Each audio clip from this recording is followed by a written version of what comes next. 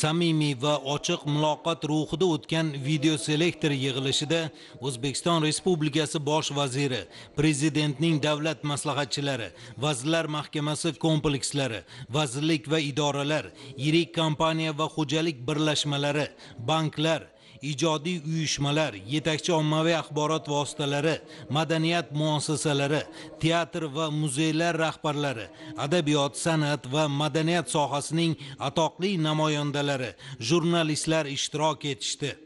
Ma'lumki mamlakatimizda barcha soha va tarmoqlar qatori madaniyat va san'at adabiyot ommaviy axborot vositalari rivojiga katta e'tibor berilmoqda. Ayniqsa keyingi paytda bu soha ravnaqini yangi bosqichga ko'tarish bo'yicha ulkan ishlar qilinyapti.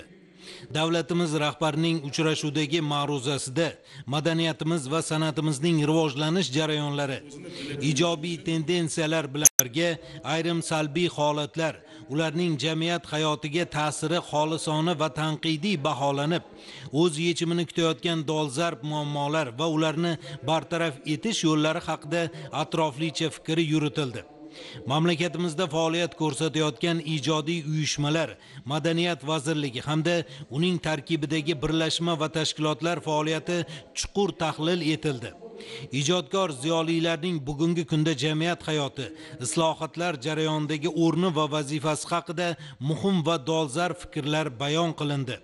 Inson qalbini uning dardi tashvishlarini xalqning orzu intilishlari vatanga muhabbat va sadoqat tuyg'usini betakror so'z ohang va ranglarda tarannum etishni o'z hayotining ma'no mazmuni deb biladigan siz muhtaram ijod ahlining mehnati naqadar mashaqqatli mas'uliyatli va sharafli ekanini barchamiz albatta yaxshi bilamiz.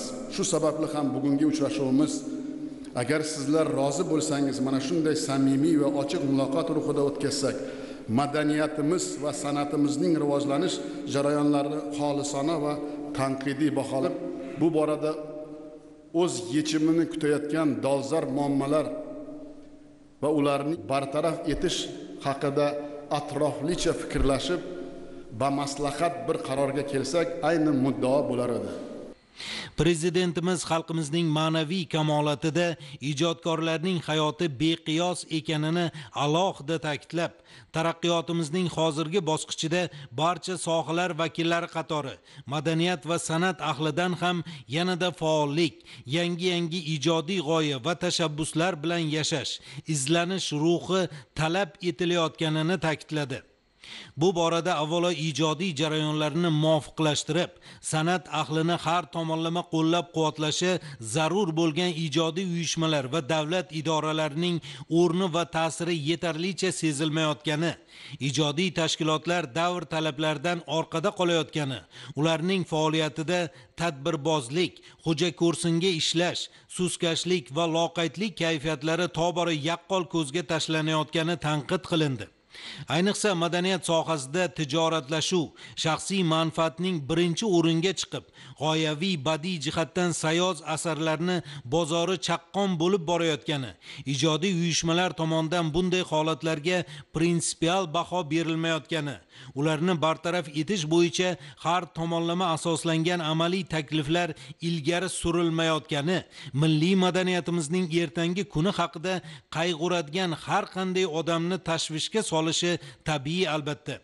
Shu munosabat bilan o'zbekistonda adabiyot va san'at madaniyat ommaviy axborot vositalari ma'naviyat va ma'rifat sohasining biznesga aylanishiga yo'l qo'yilmaydi deb ta'kidladi shavkat mirziyoyev.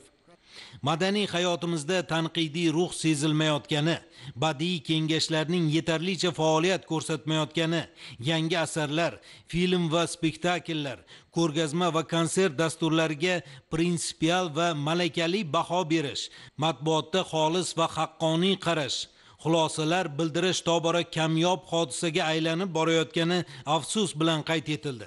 Yana bir muammo. Ijodiy uyushmalar o'rtasida hamkorlik aloqalari yaxshi yo'lga qo'yilmagan. Badiiy akademiya bastakorlar yozuvchilar jurnalistlar kino arboblari uyushmalari va boshqa tashkilotlarning o'zaro ijodiy munosabatlari deyarli to'xtab qolgan. Ana shu tuzilmalar faoliyatida birgalikda hal etilishi lozim bo'lgan ko'plab masalalar borligi. Avvalambor adabiyot va san'at madaniyat ommaviy axborot vositalari faoliyati bo'yicha mavjud huquqiy normativ bazani takomillashtirish sohaning moddiy texnik salohiyatini mustahkamlash ijod ahlining mashaqqatli mehnatini moddiy va ma'naviy jihatdan munosib rag'batlantirish kadrlar tayyorlash tizimini tubdan qayta ko'rib chiqish va isloh qilish hamda dolzarb muammolar ijodiy uyushmalar e'tibordan chetda qolib kelmoqda. Uchrashuvda davrimizning haqiqiy qahramonlari bo'lgan zamondoshlarimizning obrazlarini va shu asosda vatanimiz tarixining badiiy solnomasini yaratish borasidagi vazifalar muhokama etildi. Bo'lib o'tgan samimiy muloqotda yosh avlod tarbiyasi ushbu yo'nalishdagi ishlarimizning ta'sirchanligi va samaradorligini oshirish haqida atroflicha so'z yuritildi.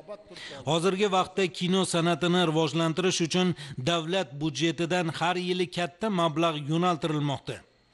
Lekin afsuski ko'pchilik ijodiy jamoalarda bu haqiqatni chuqur his qilgan holda ish olib borilmayapti. Yaratilgan aksariyat filmlar spektakllar badiiy jihatdan nochor. Ularda bugungi kun nafasi odamlarni o'ylantirayotgan hayajonga solayotgan ijtimoiy muammolar o'z aksini topmayapti. Ana shunday holatlarga prinsipial baho berib madaniyat sohasida yagona davlat siyosatini olib borish kerak bo'lgan madaniyat vazirligi faoliyatida suskashlik o'zi bo'larchilik xotirjamlikka berilish kayfiyati ko'zga tashlanmoqda. Yana bir muhim masala. Majlisda to'y va ma'rakalarni ixcham va mazmunli o'tkazish ortiqcha xarajatlarga yo'l qo'ymaslik bu borada madaniy jamoatchilik vakillari el yurt o'rtasida keng tushuntirish ishlari olib borishlari o'rnak va namuna bo'lishlari lozimligi ta'kidlandi. Prezidentimiz tomonidan adabiyot va san'at madaniyat sohasini yanada rivojlantirish mavjud muammolarni hal etishga qaratilgan bir qator qaror loyihalari tayyorlanayotgani haqida axborot berildi. Jumladan bastakorlar badiiy ijodkorlar teatr arboblari va jurnalistlar ijodiy uyushmalarining ijtimoiy hayotdagi o'rni va nufuzini oshirish ularning moddiy texnik bazasini mustahkamlash ijodkorlar uchun munosib ish va turmush sharoitini yaratib berishga xizmat qiladigan ilhom jamoat fondini tashkil etish bo'yicha qaror loyihasi tayyorlanayotgani ma'lum qilindi.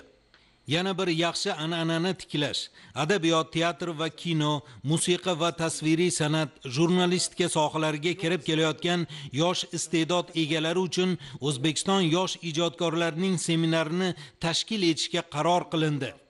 Uchrashuvda o'zbekiston jurnalistlari ijodiy uyushmasi o'zbekiston badiiy akademiyasi bastakorlar uyushmasi faoliyatini yanada takomillashtirish shuningdek milliy kinematografiyani o'zbekiston davlat konservatoriyasi faoliyatini rivojlantirish bo'yicha prezident qarorlari loyihalari tayyorlanayotgani haqida ham axborot berildi.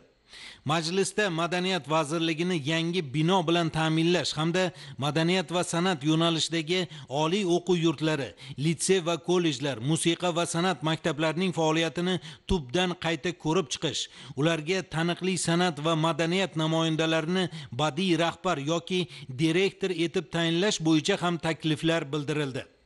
Uchrashuvda mamlakatimizdagi yirik kompaniyalar ishlab chiqarish va xo'jalik birlashmalari banklar tomonidan badiiy tashkilotlarga homiylik qilish xususidagi taklif va tashabbuslar qo'llab quvvatlanildi faqat va faqat ertangi jonajon vatanimizni ma'naviyatini ma'rifatini madaniyatini sizdan boshqa hech kim qilmaydi. Endi albatta yoshlarimiz ham kirib kelyapti lekin mana shu biz qilgan rejalarimizni amalga oshirishga faqat sizlar bilan qila olamiz. Sizlar o'zlaringni shogirdlaring kollektivlaring ustozlaring va atroflaringizda bo'lgan do'stlaring bilan amalga oshirasizlar. Muloqotda o'zbekiston xalq shoirasi halima xudoyberdiyeva akademiklar oqil salimov ra'no ubaydillayeva o'zbekiston xalq artisti farruh zokirov va boshqalar so'zga chiqib madaniyat adabiyot va san'at sohasiga ko'rsatilayotgan yuksak e'tibor samimiy muloqot uchun davlatimiz rahbariga minnatdorlik bildirib belgilab olingan maqsad va vazifalar yaratilayotgan sharoit va imkoniyatlar ijod ahlini yangi va sermazmun asarlar yaratishga ruhlantirishi barcha ijodiy tashkilotlarni o'z faoliyatini qaytadan ko'rib chiqib uni har tomonlama samarali tashkil etishga da'vat etishini ta'kidladilar.